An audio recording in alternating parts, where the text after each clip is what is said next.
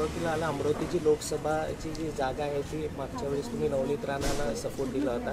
तर नंतर त्यांनी वेगळी भूमिका घेतली आणि ते भाजपसोबत गेले. तर आता यावेळेस काय प्लॅन आहे आपला राष्ट्रवादी आता महाविकास आघाडीची मीटिंग आहे पुढच्या आठ दहा दिवसात.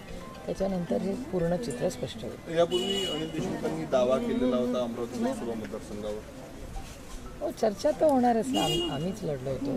त्याच्यामुळे पण महाविकास आघाडीची चर्चा झाल्यावरच हे सगळं स्पष्ट होईल. बाहेर काही बोलणं चर्चेशिवाय हे मला वाटतं मला संयुक्तिक राहणार नाही.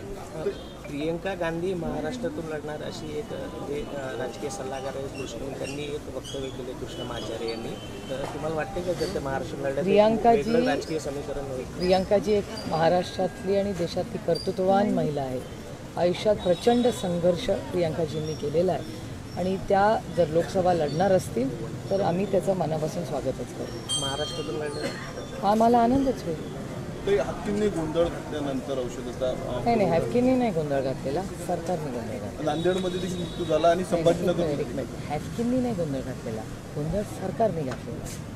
हॅफकिनची चूक नाही सर महाराष्ट्र सरकारची चूक. आहे.